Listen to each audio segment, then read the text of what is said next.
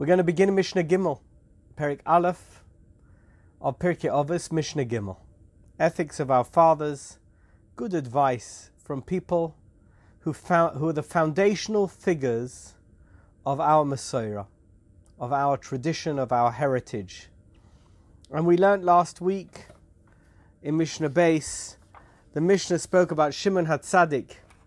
Well, Antignois ish soichai kibel Mishimon HaTzadik. Who was Antignois? He was a man, ish.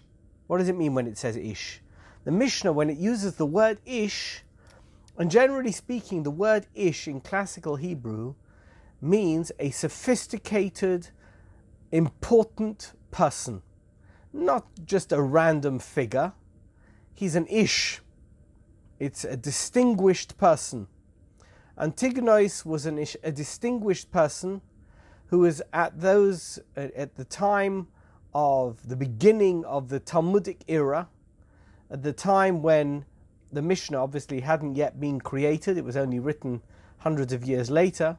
However, these were the foundational figures of Mishnais, and Antignois Ish Soichai, we're going to see in a minute, had an unusual role to play, particularly because of what he taught in this Mishnah. Historically, he was a very important person, but he was a talmid of Shimon HaTzadik. What was it that he taught us in the Mishnah that's quoted in his name at the beginning of Perik Aleph of Pirkei Avos. Kibel Mishimon HaTzadik, he received his Torah, all his knowledge he received from Shimon HaTzadik. He became the generational oracle. He was the person from whom the next generation received their Torah, and through whom the Torah of Shimon HaTzadik and everyone that preceded him came through. Hu hoya he said as follows: Al tihiyu ka'avodim hamashamshin as horav. Don't be like avodim. What's an eved? An eved, I know that we're going to translate it as servant. That's not what it means. Avodim, in classical Hebrew, and by the way, in all ancient culture, means slave. Don't be like a slave. Hamashamshin esharav, who works for the master, Amanas lekabel pras, in order to receive the pras. The word pras is an interesting word. What does the word pras mean? So we know that in modern Hebrew it means prize. What is the normal word for payment in Hebrew? Schar. Almanos lekabel schar is what it should have said, not almanos lekabel pras. Don't be like a slave who works for a master in order to receive one's wages, one's due, whatever that may be. But that's not the way the Mishnah expresses itself. That's not what Antignois Ish said. He said something else slightly. We're going to look into that.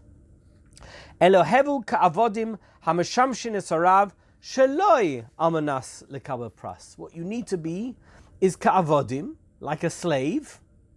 Really? Are we avodim? We need to be like slaves? Loyle kabel pras, not to receive the pras, the prize, the reward. Pras, that's a good, a good translation for us in English for the word pras. It's not prize, it's reward. We should be like slaves, but we shouldn't be like slaves in order to receive a reward. We're going to have to unpack that. How do I behave like a slave?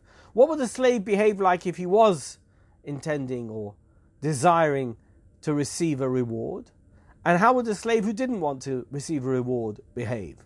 We need to know that in order to understand Antignois ish soichai. shamayim aleichem.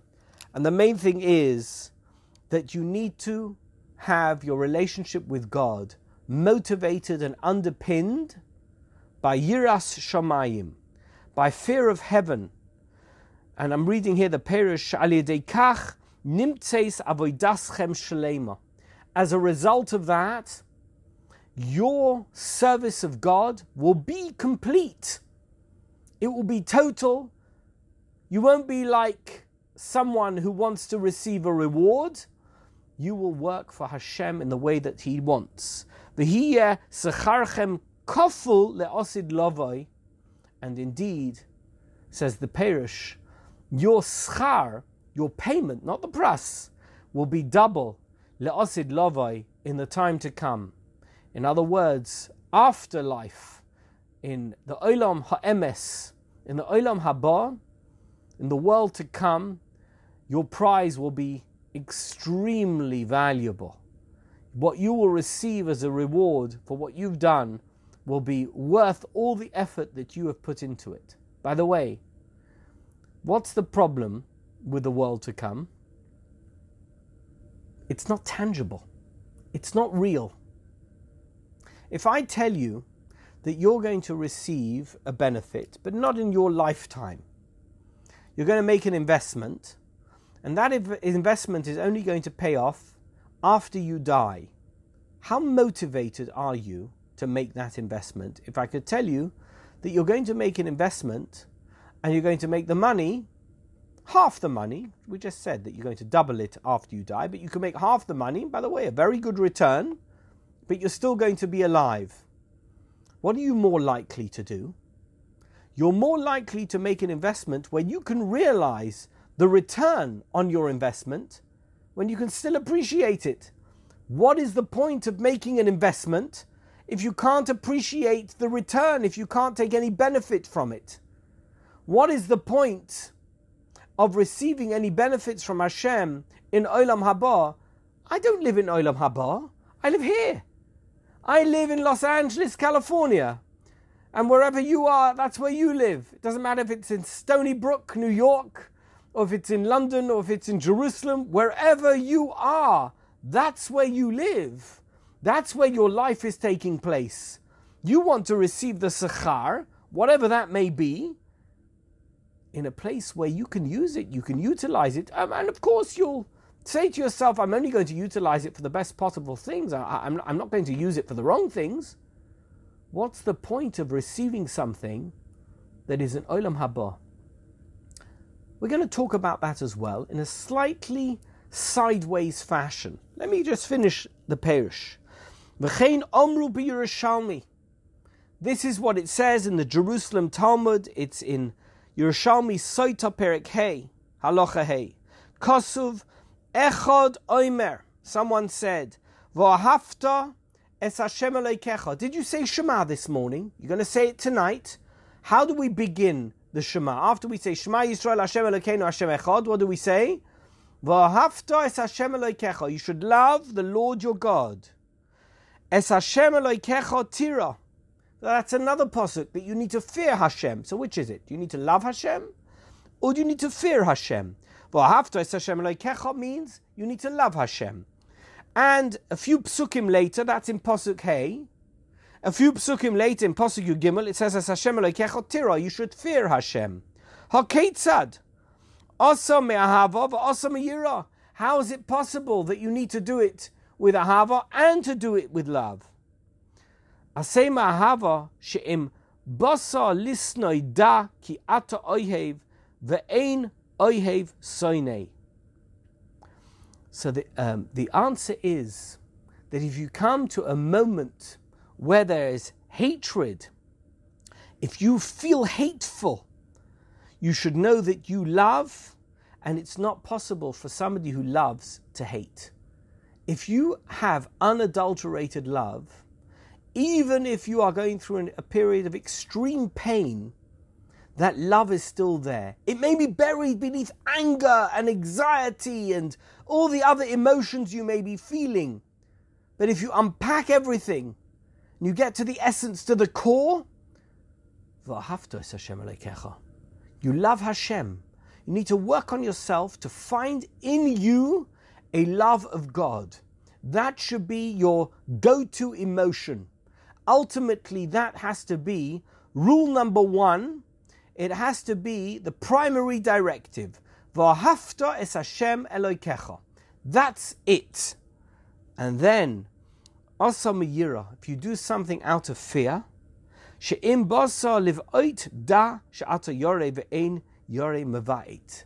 The other thing, other side of it is that sometimes love can lead to over familiarity.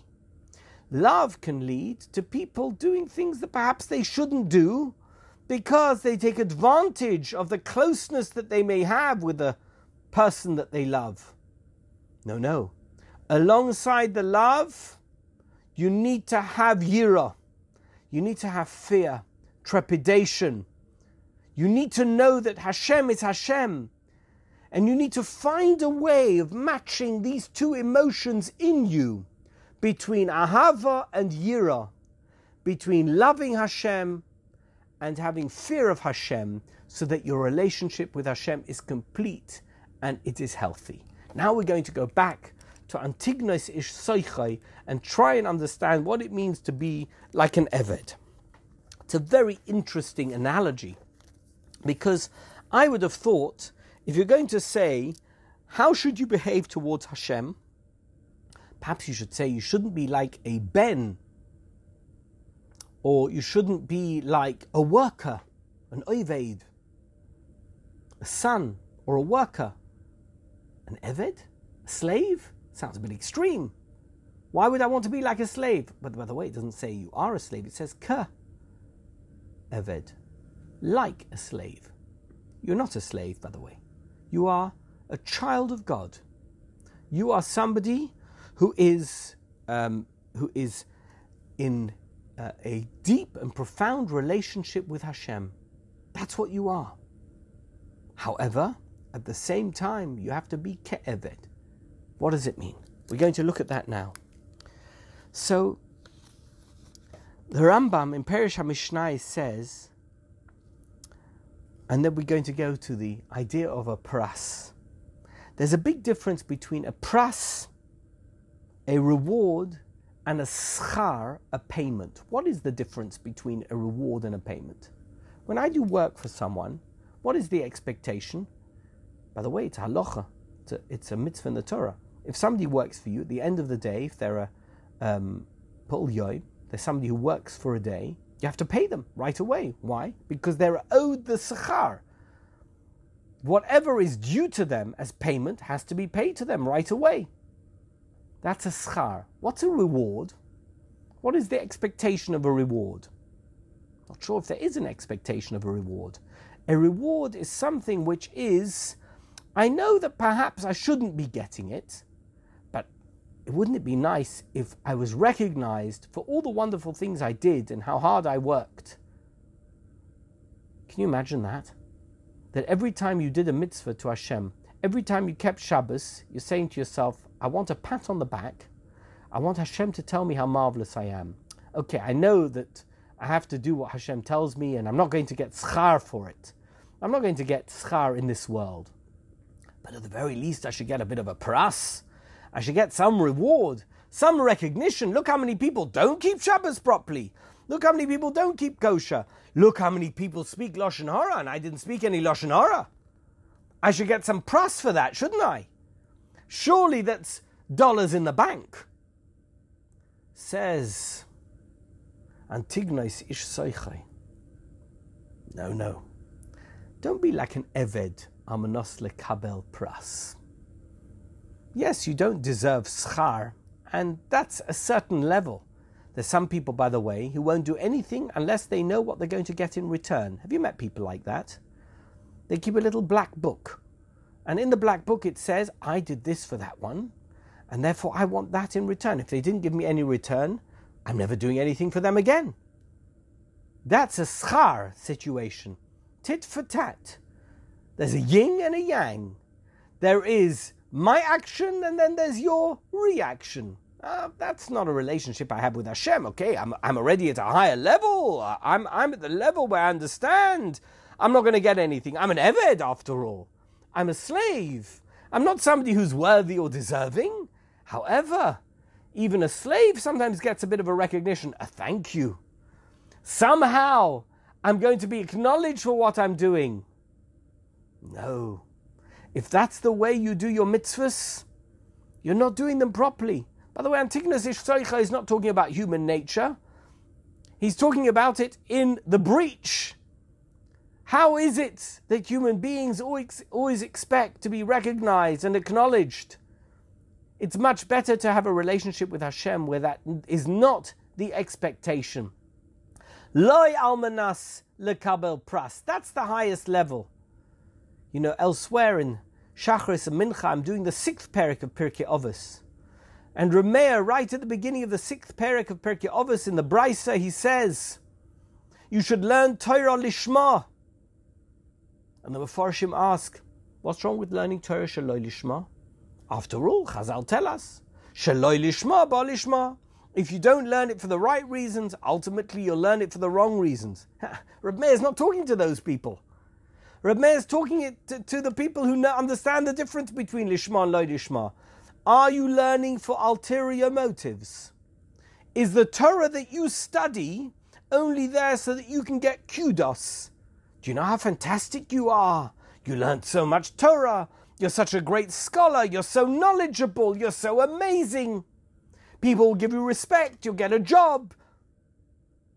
No, that's not the reason to learn Torah. The reason to learn Torah is because Lishma. Because Hashem wants you to learn Torah. V'dibar tabam. It's a posuk in Dvarim. You need to speak in Torah. B'veisecha. When you're sitting in your house. V'lechtecha v'derech. When you're traveling on a journey. B'shachbecha. When you go to bed. Uv'kumecha. And when you get up. Your love for Hashem has no time and no place and no limitations. It's limitless and it's boundless. That is what a true relationship is. When you love, you love your spouse, you love your child, you love your parent. Is there anything you won't do at any time, day or night? You're a bit like an Eved, aren't you? When it comes to those relationships.